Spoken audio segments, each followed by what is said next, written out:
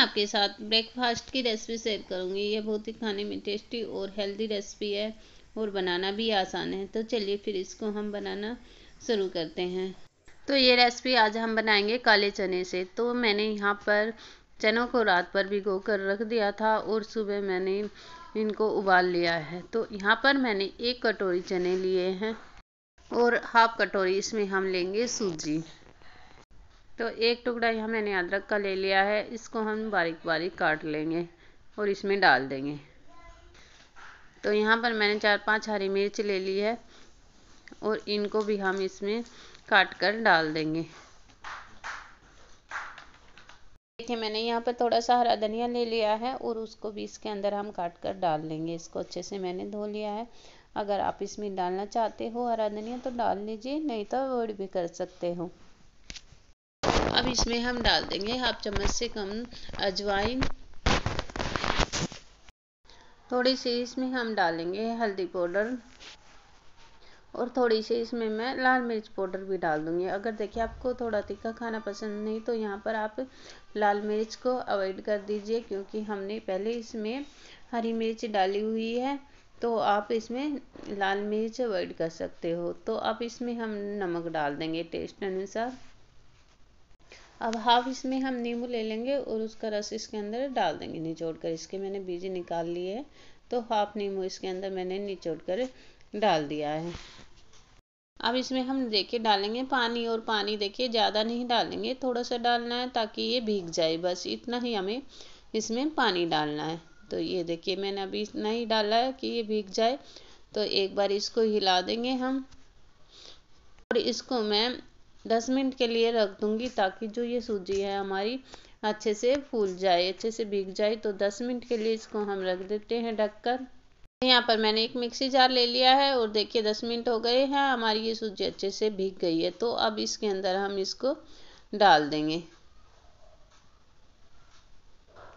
तो देखिए थोड़ा सा और पानी मैं इस बर्तन को धोकर बस इसके अंदर डाल दूँगी, ज़्यादा नहीं डाला है। थोड़ा सा हमने पहले डाला था भिगोने के लिए थोड़ा सा इसमें मैंने बर्तन को धोकर डाला। अब मिक्स का जार लगाकर इसको हम पीस लेंगे। बिल्कुल मैंने इसका एक स्मूथ सा पेस्ट बनाकर तैयार कर लिया। देखिए, मैं आपको दिखाती हूँ। देखिए, बिल्कुल स्मूथ सा इसका हमने पेस्ट बनाया। ये देखिए तो ये यहाँ पर हमारा पेस्ट अब यहाँ रेडी हो चुका है। तो यहाँ मैंने एक बर्तन ले लिया है। उसमें इसको हम निकाल लेंगे।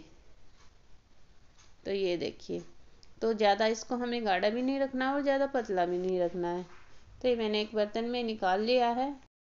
तो अब इसमें हम डालेंगे बेकिंग सोडा। हाफ़ चम्मच से हाफ़ है, ये देखिए। मैंने इसमें बेकिंग सोडा डाल दिया है। अब बेकिंग सोडे को इसमें हम करेंगे मिक्स। तो अच्छे से चम्मच से हमें इसको मिक्स कर देना है और अच्छे से फेंट देना है ताकि बेकिंग सोडा अच्छे से हमारे बैटर में मिक्स हो जाए। तो अच्छे से इसको मैं फेंट दूँगी। तो देखिए अच्छे से मैंने इसको अच्छे से मिक्स कर दिया है बैटर के अंदर सोडे को। ये देखें, अब हमारा ये पेस्ट देखिए।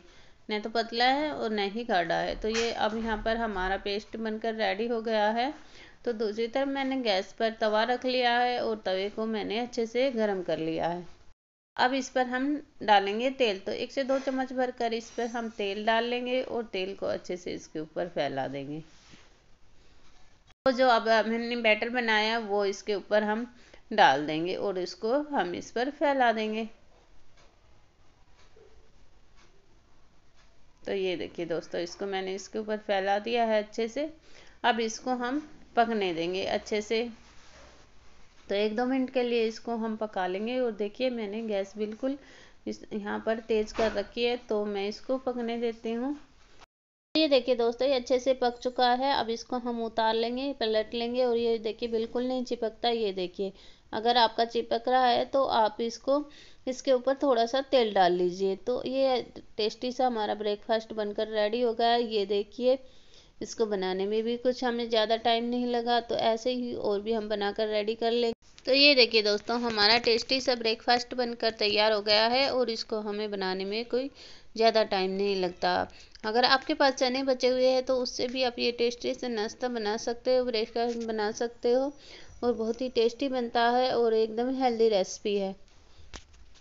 तो दोस्त, आपको ये रेसिपी कैसी लगी? ज़रूर कमेंट करके बताइए और अच्छी लगे तो ज़्यादा से ज़्यादा लाइक कीजिए शेयर कीजिए और होममेड चना रेसिपी को प्लीज़ सब्सक्राइब कीजिए। तो आप भी ज़रूर इसको बनाकर देखना। बनाना भी आसान है और बन भी जल्दी जाती है तो आप ज़रूर बनाइए सुबह के ब्रेकफास्ट में और इन्जॉय कीजिए।